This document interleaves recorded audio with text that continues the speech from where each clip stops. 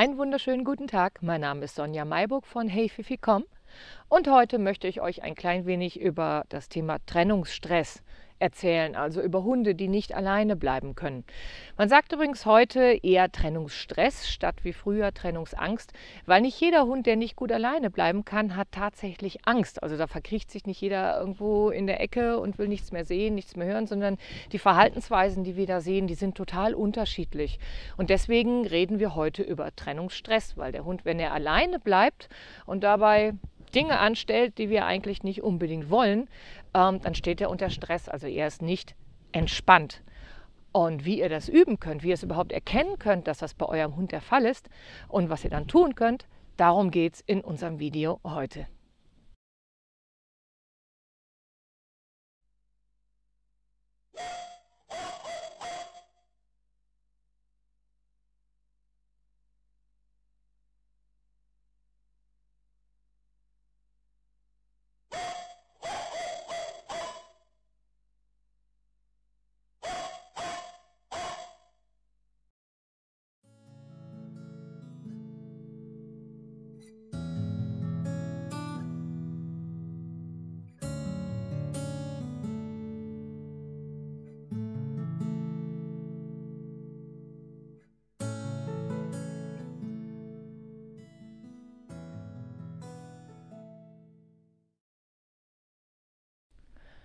Da es zum Thema Trennungsstress immer wieder ganz viele Missverständnisse gibt, möchte ich euch als erstes mal erzählen, was Trennungsstress nicht ist. Und da kommen wir als erstes zum Thema Controletti. Das ist das, was man immer so hört, wenn der Hund nicht gut alleine bleiben kann, wenn er da weint oder jammert oder sowas. Wenn er alleine ist, dann heißt es, oh, der will dich kontrollieren und das musst du unbedingt unterbinden. Ähm, weil der darf dann dir auch nicht hinterherlaufen, der darf dann auch nicht jammern, wenn er alleine ist, weil ähm, er einfach nur das kontrollieren möchte, was du tust. Der ist der absolute Kontrolletti. Ähm, muss man sagen, das ist totaler Quatsch. Jedes Säugetier, also auch wir Menschen, ähm, möchte seine Umwelt in irgendeiner Form kontrollieren, einfach damit wir uns darin sicher fühlen. Wenn ich zu Hause sitze und alle fünf Minuten latscht irgendein Unbekannter durch mein Wohnzimmer, würde ich mich vermutlich ziemlich hilflos irgendwann fühlen äh, und sehr, sehr unwohl. Und genauso ist es, wenn ein Hund irgendetwas, wenn er das Gefühl hat, er kann es überhaupt nicht kontrollieren, er ist dem Ganzen hilflos ausgeliefert, dann fühlt er sich natürlich schlecht. Und das hat mit dem Controletti überhaupt gar nichts zu tun, sondern das ist ein ganz völlig normales Verhalten, ähm, wie ein Hund auf seine Umwelt reagiert, in der er versucht halt klarzukommen. Also deswegen bitte habt keine Angst, dass euer Hund irgendwie versuchen wollen würde, euch einzuschränken oder sowas, sondern der reagiert einfach auf eine Situation, die ihm selbst unkontrollierbar erscheint. Also keine Angst vom Kontrolletti. Was Trennungsstress auch nicht ist, ist eine Form von Dominanzverhalten. Auch das hört man ja ab und zu, dass der Hund äh, dir zeigen will, wer der Boss ist, indem er bellt oder weint, wenn du nicht zu Hause bist. Ähm, es gibt mittlerweile eine Menge Studien zum Thema Dominanz, Untersuchungen bei Hunden, Beobachtungen bei Hunden. Wir müssen zu dem Thema noch eine ganze Menge lernen ähm, und weiter Hunde beobachten, in welchen Situationen sie sich wie verhalten. Aber ich kann dir eins versichern. Bellen und jaulen und Dinge kaputt machen, während du nicht zu Hause bist, gehört absolut nicht zum Dominanzverhalten bei Hunden. Also da musst du dir überhaupt gar keine Sorgen machen, dass dein Hund dir jetzt zeigen will, ähm, dass er jetzt der Boss ist, indem er etwas kaputt macht, wenn du nicht zu Hause bist. Also das ist schon ein bisschen arg menschlich gedacht und hat mit Dominanzverhalten überhaupt nichts zu tun. Also auch daher keine Angst vor der Dominanz. Beim Trennungsstress ist es tatsächlich etwas völlig anderes. Und was es auch nicht ist, ist Wut oder Trotz. Also ähm, auch das sind ja so Dinge, die man schon öfters mal so mitbekommt, dass wenn dein Hund sich nicht gut verhält, wenn du nicht bei ihm bist, dann heißt es, der ist total sauer und der pieselt dir jetzt rein oder macht dir da einen Haufen mitten ins Wohnzimmer, damit du dich ärgerst, wenn du zurückkommst. Und auch das ist eine extrem vermenschlichte Sicht des Hundes. Man muss sich vorstellen, der ist dann alleine und es geht ihm überhaupt nicht gut dabei. Ähm, und wir dichten ihm dann so diesen Gedankengang an, wenn äh, ich jetzt hier einen Haufen hinmache und mein Mensch kommt nach Hause, dann ärgert er sich, dann habe ich es ihm also so richtig, richtig, richtig gezeigt, weil er mich alleine gelassen hat. Also auch das eine extrem, also wirklich extrem vermenschlichte Sicht. Ähm, also auch da macht euch keine Gedanken drum, Wut oder Trotz ist Trennungsstress auch nicht. Es spielen natürlich so Emotionen eine Rolle. Also wenn ein Hund alleine ist, da hat sicherlich Angst eine große Rolle mit dabei, äh, Trauer, weil ihr nicht bei ihm seid und da ist sicherlich auch Wut und Frust und sowas mit dabei. Aber so dieses Ding, der macht jetzt einen Haufen ins Wohnzimmer, damit ich mich ärgere, wenn ich nach Hause komme. Ähm, also so weit denken Hunde dann doch nicht. Also deswegen auch davor keine Angst.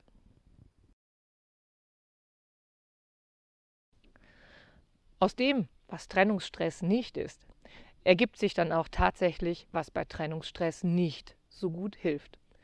Kommen wir zum einen, was nicht so gut hilft, ist das Thema Flooding. Flooding heißt, ich setze dem Hund diesem, ähm, dieser Situation, die ihn aufregt, so lange aus und immer und immer und immer wieder, bis er sich hoffentlich irgendwann daran gewöhnt hat und es nicht mehr so schlimm findet. Das würde also heißen, ähm, ihr lasst euren Hund alleine, immer und immer und immer wieder, in der Hoffnung, dass es ihm irgendwann nichts mehr ausmacht. Das funktioniert in der Regel überhaupt nicht. Im Gegenteil, es geht dem Hund mit der Zeit dann immer schlechter. Er übt dieses unerwünschte Verhalten, zum Beispiel etwas kaputt machen oder jaulen oder sowas, das übt er dann immer und immer und immer wieder ein. Und normalerweise ist es so, Ihr müsstet ja dann theoretisch so lange wegbleiben, bis euer Hund völlig entspannt und gechillt zu Hause ist. Und mal ehrlich, wie groß ist die Wahrscheinlichkeit? Wie viele Hunde jammern stundenlang und finden das wirklich so extrem gruselig, wenn sie alleine zu Hause sind, dass sie vielleicht irgendwann vor Erschöpfung aufhören zu bellen. Ähm, aber gut oder total gechillt oder sowas geht es ihnen dabei nicht. Also Flooding funktioniert normalerweise nicht. Was auch nicht funktioniert ist, wenn ihr nach Hause kommt und ihr straft euren Hund, wenn ihr seht, dass er etwas angestellt hat, also zum Beispiel reingepieselt hat oder etwas kaputt gemacht hat oder wenn er die ganze Zeit gejault und gebellt hat und die Nachbarn beschweren sich schon und sowas. Wenn ihr dann nach Hause kommt und ihr schimpft mit dem Hund, weil ihr so wahnsinnig wütend seid, weil er wieder irgendwas gemacht hat, naja, das verbindet der nicht mehr. Also das ist ja schon viel, viel, viel zu lange her. Und das ist ja auch ein Verhalten, was er je nachdem gar nicht wirklich willentlich steuern kann. Denn wenn er total aufgeregt ist ähm, oder vielleicht tatsächlich Angst hat, wenn er wirklich massiv Stress hat und er baut diesen Stress ab über jaulen oder bellen oder Dinge kaputt machen oder sowas, dann ist das nicht etwas, was er einfach so willentlich unterdrücken kann. Und deswegen macht das auch überhaupt keinen Sinn, ihn in dem Moment zu strafen. Also nicht eine der Strafregeln, die es gibt, wird in dem Moment eingehalten. Ihr seid eh schon viel zu spät dran. Der Hund steht sowieso unter Stress, kann das überhaupt nicht unbedingt willentlich steuern. Äh, und wenn ihr dann noch nach Hause kommt und dann macht ihr noch ein riesen Theater und, und sagt, ey, hör mal, so geht das aber nicht und das ist total mies, was du da gemacht hast und ich ärgere mich total und weh, du machst das beim nächsten Mal wieder, dann setzt das euren Hund ja nur noch mehr unter Stress. Also strafen, wenn ihr nach Hause kommt, hilft normalerweise auch nicht. Was auch nicht so gut hilft, sind Rangordnungsmaßnahmen.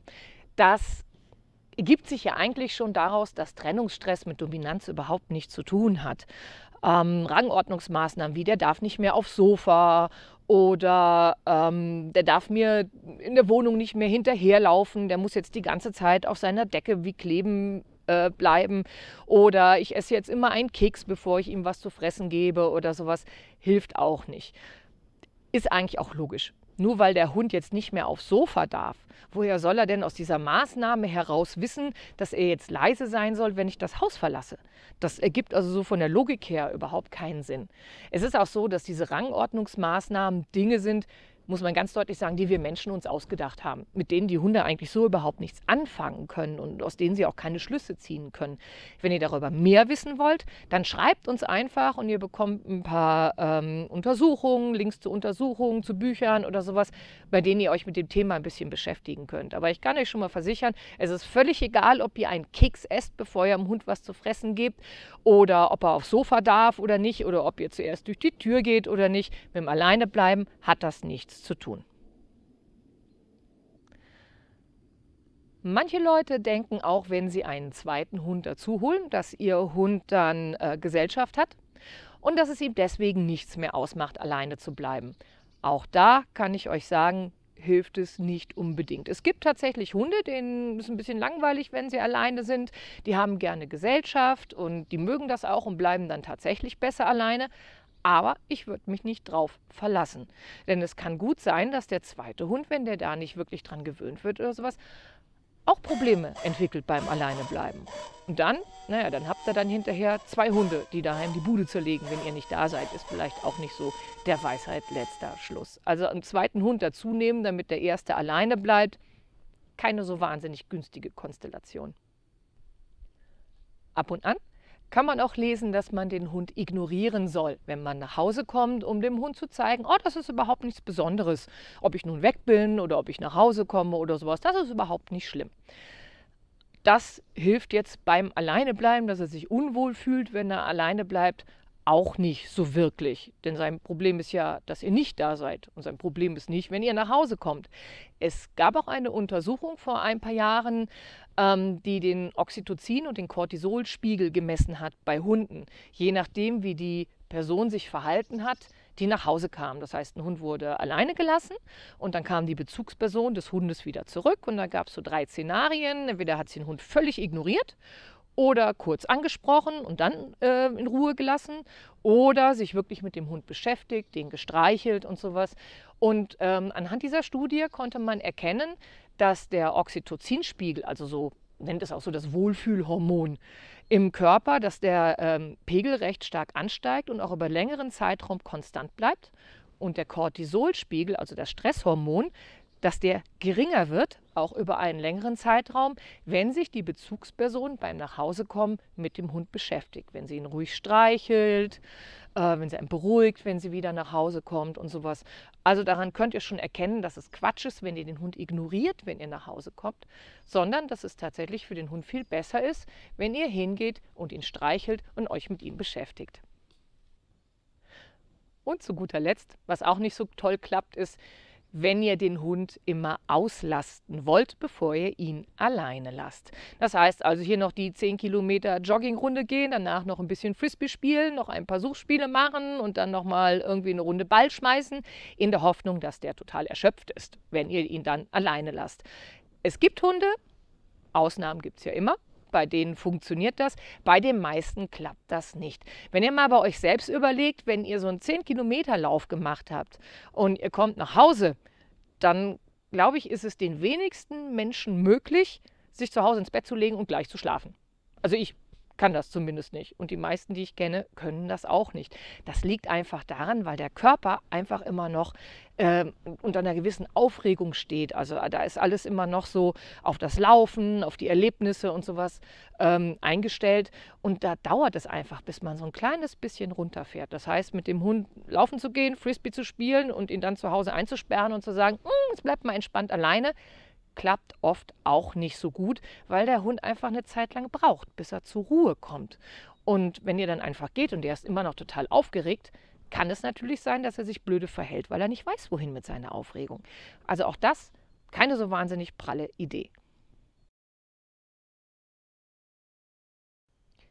Wichtig ist auch zu wissen, dass nicht immer, wenn euer Hund sich zu Hause blöd verhält, wenn ihr nicht da sind, dass nicht immer unbedingt reiner Trennungsstress daran schuld sein muss. Es kann natürlich auch gut sein, dass eurem Hund daheim einfach langweilig ist. Ich empfehle immer, ähm, eine Kamera aufzustellen zu Hause, um den Hund einfach mal in der Zeit, in der ihr nicht da seid, beobachten zu können. Also wirklich mal über, ich weiß ja nicht, wie lange euer Hund normalerweise alleine bleiben muss, aber vielleicht eine Stunde oder sowas, mal eine Kamera aufstellen und dann schaut ihr euch das hinterher an.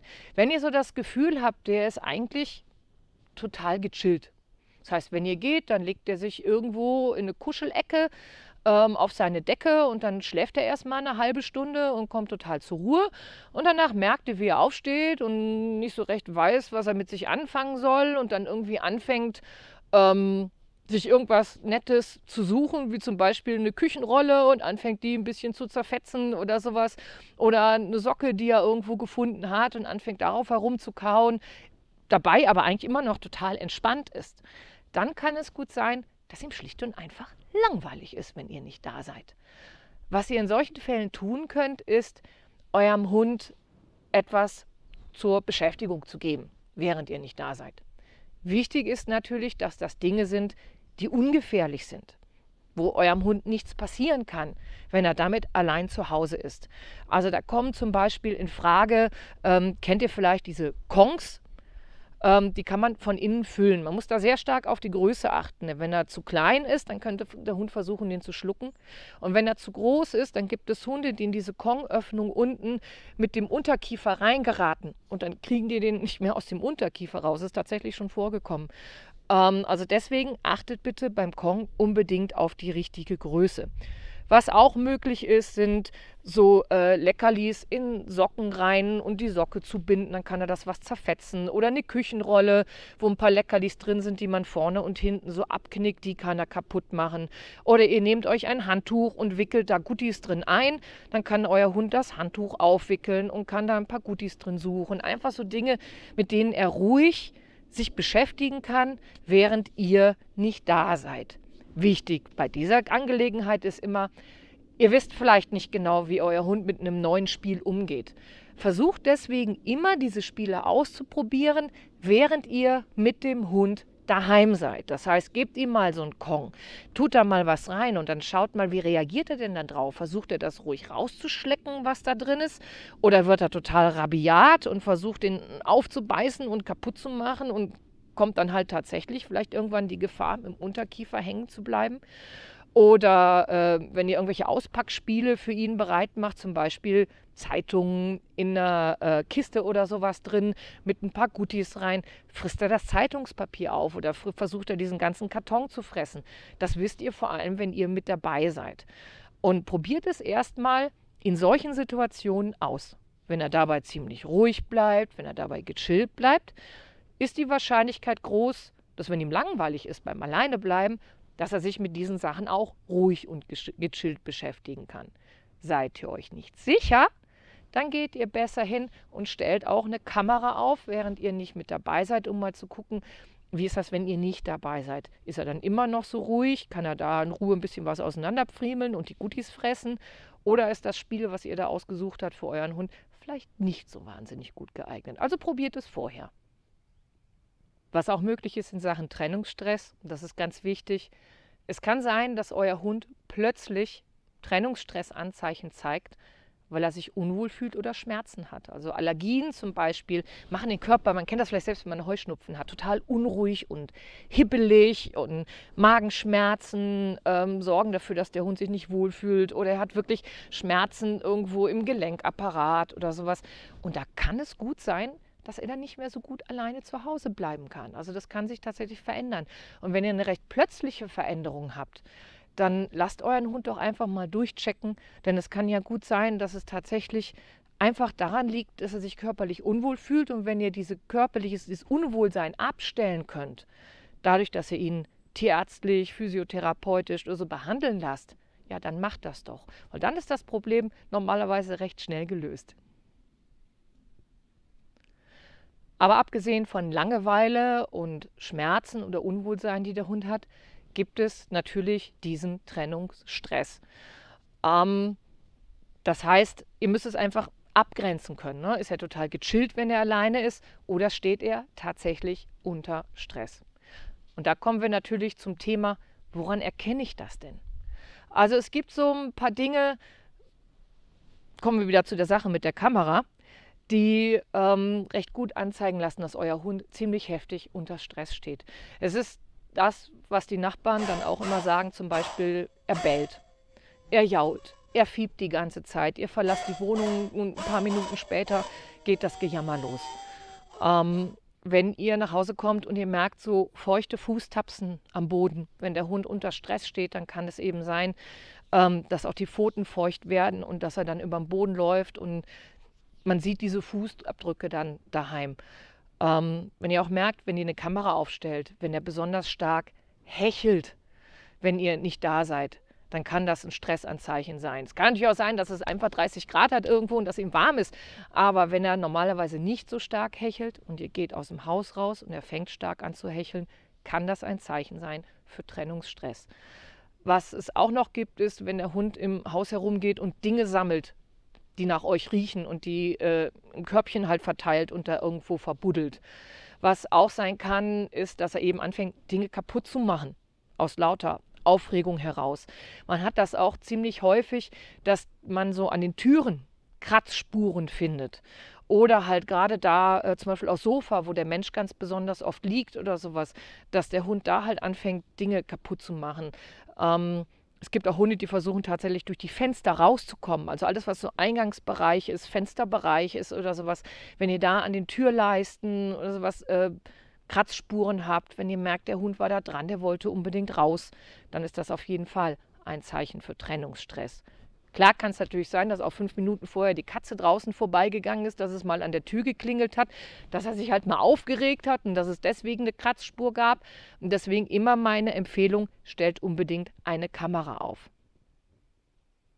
Trennungsstress muss aber nicht unbedingt äh, mit so starken Lautäußerungen einhergehen. Es kann auch sein, dass euer Hund total still ist und die Nachbarn sagen, ah, man hört überhaupt nichts, das ist alles kein Problem. Das ist aber tatsächlich kein Garant. Also es kann einfach gut sein, zum Beispiel, wenn ihr eurem Hund einen Kauknochen daheim gebt, einen, den er eigentlich ganz gerne mag, oder ein Spielzeug, mit dem man normalerweise gerne spielt, und ihr geht raus und das bleibt völlig unangetastet, unangerührt. Euer Hund steht so stark unter Stress, dass er sich damit überhaupt nicht mehr beschäftigen kann. Dann kann das durchaus auch ein Zeichen dafür sein, dass er sich, wenn er sich, äh, wenn er alleine ist, dass er sich schlicht und einfach nicht wohlfühlt. Bei einem Hund, der normalerweise stubenrein ist, kann es passieren, dass wenn ihr nicht da seid und er steht unter Stress, dass er euch entweder in die Wohnung pieselt oder einen dicken Haufen reinsetzt. Der kann dann tatsächlich nichts dafür. Das ist, wie ich vorhin schon sagte, kein Trotz. Es ist so, dass wenn ein Hund unter Stress steht, dass zum Beispiel ein Hormon im Körper freigesetzt wird, das dafür sorgt, dass die Nierentätigkeit angeregt wird und dass eigentlich er dann tatsächlich dringend pieseln muss. Und wenn er alleine ist und er fühlt sich halt unwohl, dann kann es eben sein, dass dieses Hormon freigesetzt wird und dass er tatsächlich dann pieseln muss. Er kann aber dann in dem Moment nirgendwo hin, denn die Tür ist ja zu. Also macht er in die Wohnung rein. Ähm, und aus lauter Stress kann es eben auch passieren, dass euer Hund dann einfach mal tatsächlich einen Haufen machen muss. Und er kann aber nicht aus, also setzt er den in die Wohnung. Das ist natürlich ärgerlich, das verstehe ich total. Aber der Hund kann tatsächlich nichts dafür. Und es kann aber gutes Zeichen dafür sein, dass er, wenn er alleine ist, unter Stress steht. Und dann ganz am Schluss noch ganz, ganz wichtig, wenn ihr einen Hund habt, der sich zum Beispiel tatsächlich auf die Couch legt oder auch auf seine Decke und der liegt da die ganze Zeit, aber total angespannt und schaut zur Tür oder er legt sich gleich in den Flur und schaut die ganze Zeit zur Tür, wo ihr wo bleibt, wo ihr wo bleibt. Dieses angespannte Sitzen oder sowas.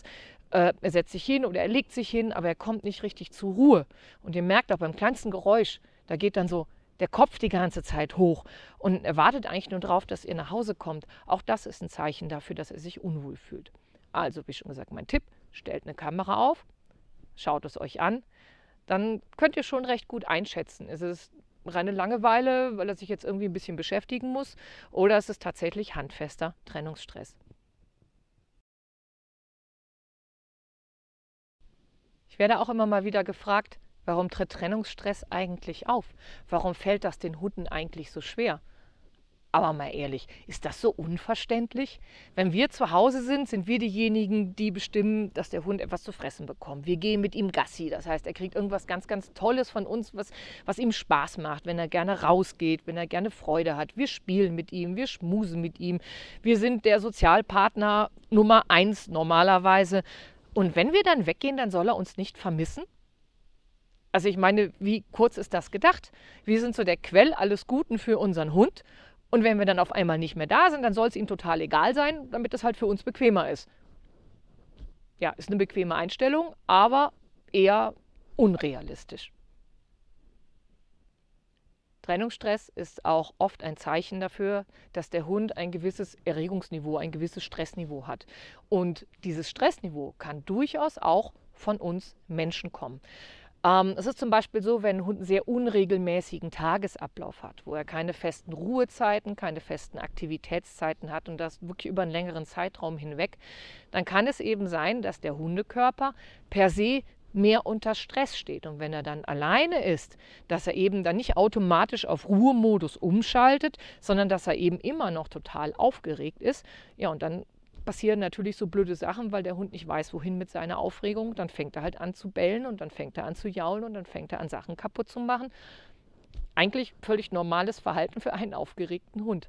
Und was bei dieser Sache auch noch sehr wichtig ist, wenn ich als Hundehalter recht häufig mit Angst und Schmerzreizen arbeite und der Hund schlecht einschätzen kann, wann kommt das nächste Mal so ein Angst- oder Schmerzreiz oder ähm, wenn er sich nicht sicher ist, was er tun kann, um diese Sachen zu vermeiden, auch dann steht ein Hundekörper dauerhaft unter Stress.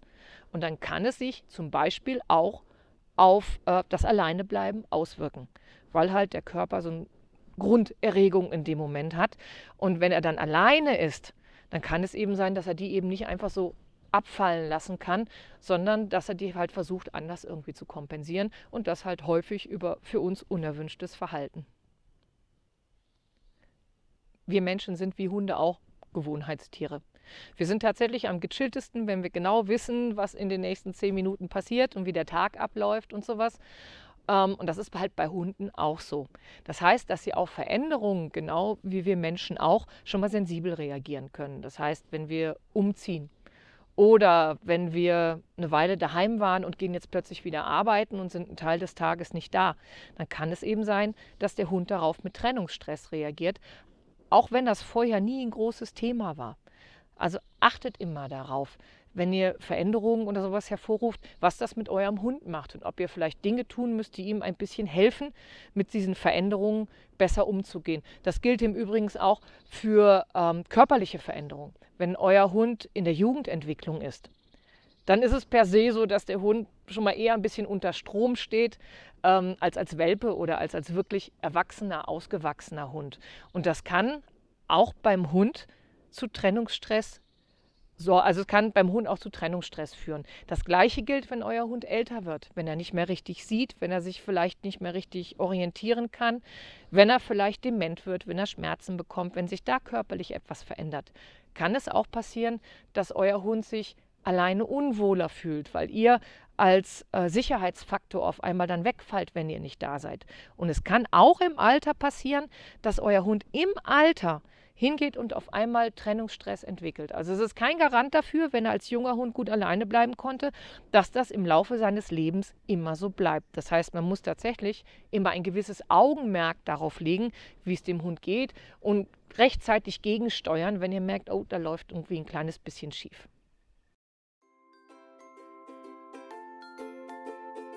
Kommen wir jetzt zum wichtigsten Teil des Films, nämlich das, was ihr tun könnt, wenn euer Hund ungern alleine bleibt und unerwünschtes Verhalten zeigt, wenn ihr auf einmal aus dem Haus. Ich weiß, geht halt nicht immer. Ne? Ihr müsst ja vielleicht euer Geld verdienen und ihr müsst arbeiten. Ihr habt also jetzt einen sicheren Rückzugsort, einen tollen Ruheplatz, der verbunden ist mit Entspannung über einen Duft. Euer Hund weiß, kommt diese Musik, dann äh, kümmert sich keiner um mich und ich kann mich entspannen. Das es eigentlich schon. Das ist gar nicht so aufwendig, wie sich das jetzt so anhört. Und das ist auch gar nicht so zeitaufwendig. Einfach weil es das Zusammenleben mit dem Hund viel, viel angenehmer und einfacher macht. Und zwar nicht nur für euch, sondern eben auch für den Hund.